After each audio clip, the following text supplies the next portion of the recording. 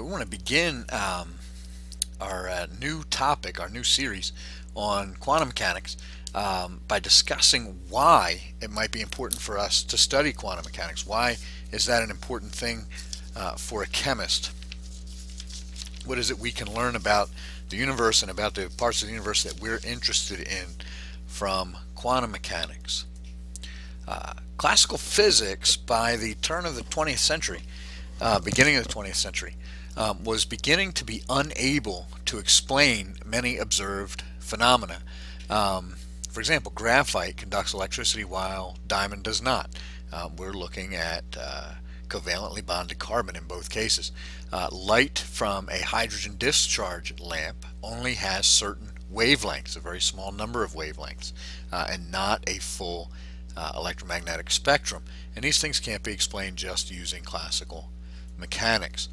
Um, NMR, infrared spectroscopy, ultraviolet spectroscopy um, cannot be explained, um, uh, couldn't be developed uh, with uh, using just classical mechanics without quantum mechanics.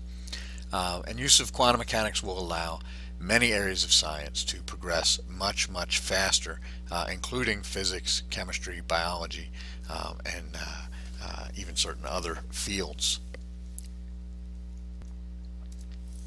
Um, two key properties that distinguish quantum mechanics from classical mechanics. First one is quantization, uh, the idea that energy at the atomic level is not a continuous variable but beco becomes in discrete sized packets called quanta. Uh, and the other one is this idea of wave particle duality. Um, all particles are waves when we consider um, energy and matter. All waves are particles.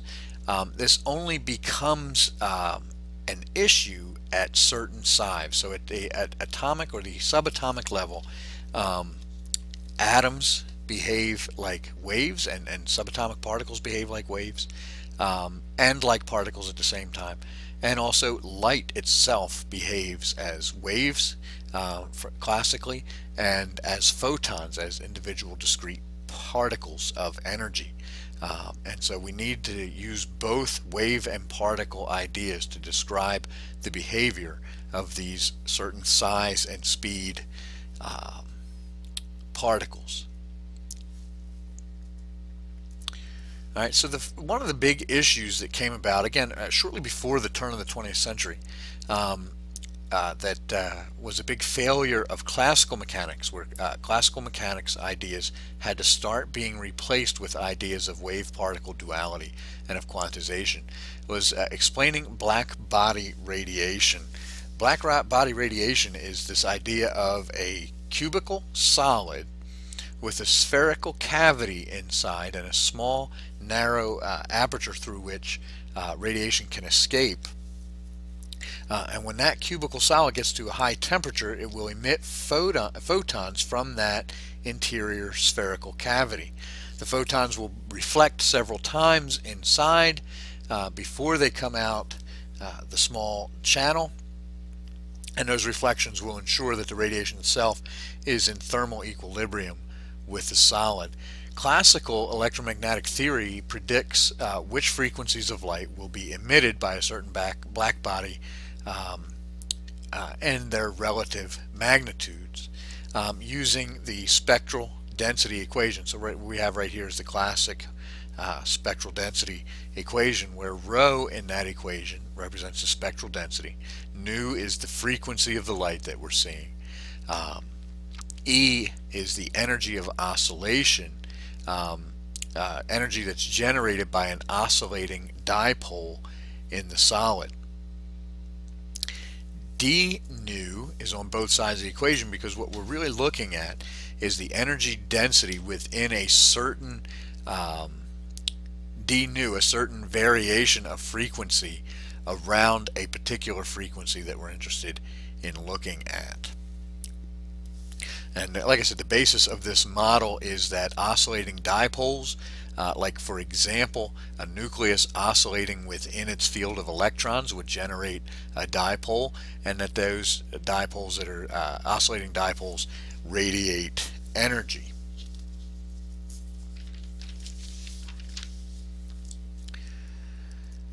Classical mechanics further predicts that the energy of oscillation is going to be directly related to the uh, temperature of the black body um, by Boltzmann's constant. And so we can substitute that back into the spectral density equation, uh, replace the energy of oscillation with kT, and we can go ahead and plot spectral density versus frequency. And what we will find is what we call the ultraviolet catastrophe. At high frequencies, um, we reach uh, uh, infinite spectral density, um, infinite intensity by uh, what's predicted here. At low frequencies, uh, we have a pretty good um, agreement, but the high frequency uh, uh should be um, of infinite intensity. Um, and then what we have is um, experimental data points around a certain temperature. We see a fair amount of low frequency light following along this particular spectral density equation theory. And then at a, a certain uh, frequency, we start to see the intensity trail off. So at high frequency, at ultraviolet or beyond, we see very low uh, intensity. And that data matches almost exactly um, the equation that Planck would derive thinking about light in a slightly different, really a significantly different manner. Uh, Max Planck proposed that the problem with classical theory was in the assumption that the energy of oscillation is directly related to temperature. The discrepancy occurs at high frequencies, not at low frequencies. So he uh, proposed that the energy of the light radiated by the dipoles is related to the frequency rather than to the amplitude, rather than to um, what we would call uh, spectral density or, uh, or intensity. Um, so if the energy um, is some number n, a positive integer, times a proportionality constant um, that we'll call h, uh, we call it Planck's constant, um, times the frequency. So this allowed Frank to, uh, allowed Planck to derive a new expression for the oscillation energy um, that look like this.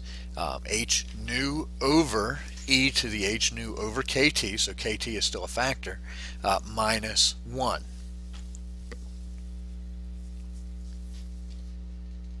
Now the key thing in any new theory is that it has to agree with the old theory in places where the old theory was correct, and then it has to be better than the old theory in places where the old theory broke down. And so um, at high temperature, uh, if we expand the previous uh, equation, expand Planck's equation that he just derived in a Taylor-Maclaurin series, uh, what we see is that at very high temperature uh, we reach a point where the energy of oscillation will become kT, but at low temperatures the denominator becomes large for all except for the very lowest frequencies and the energy of oscillation drops to zero.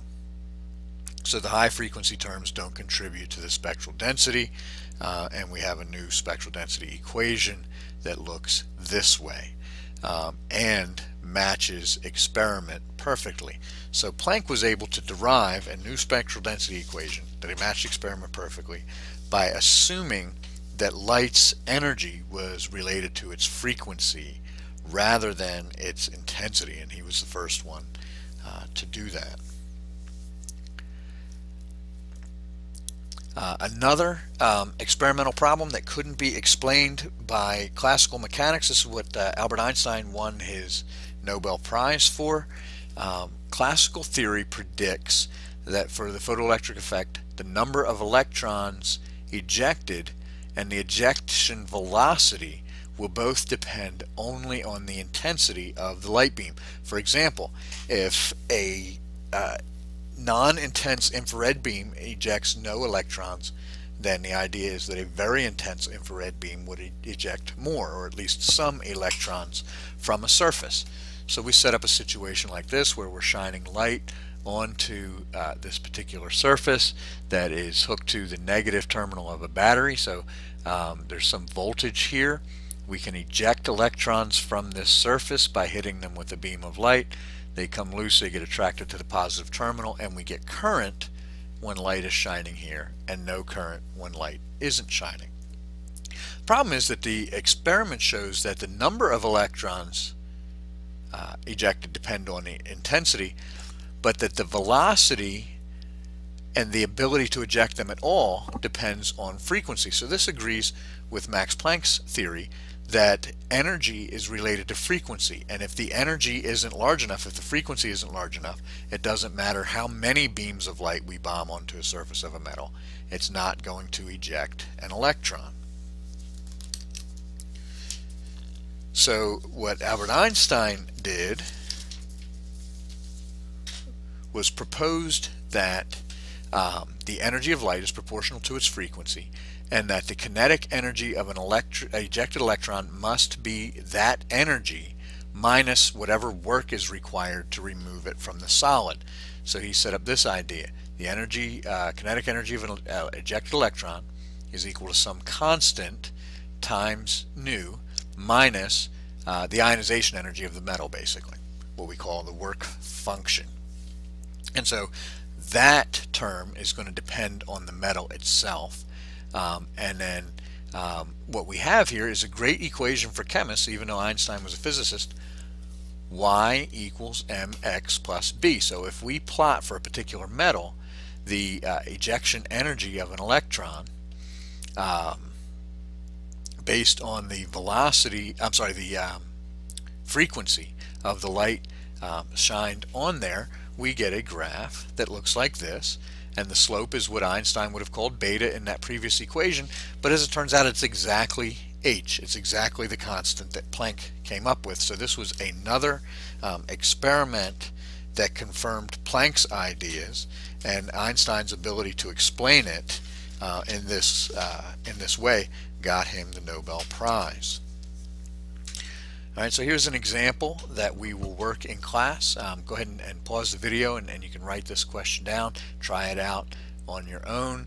Um, and the key is going to be units, uh, making sure that you're converting between SI units and electron volts um, to get the right answer. And we'll work this one together in class next time we meet. Uh, now, electrons are emitted by the surface even when the intensity of the light is barely enough that the sum of all the energy on the whole surface um, is barely enough to eject one electron. Um, so that means that uh, all of that light can be focused onto one electron rather than spread across the whole surface. Um, Einstein, uh, to paraphrase his thoughts, um, we treat the light like a particle um, and uh, think of it that way so that if you think of it this way if we're trying to bang a hole into our uh, plaster wall or our drywall wall um, it doesn't matter how many ping pong balls we throw against it the ping pong balls aren't big enough to hurt the wall. Um, but a bowling ball it'll only take one. Uh, so in that sense light is behaving like a particle not like a group of waves. Very very non-intense but high enough frequency light will eject some electrons, whereas very, very intense but not high enough in frequency light will not eject electrons.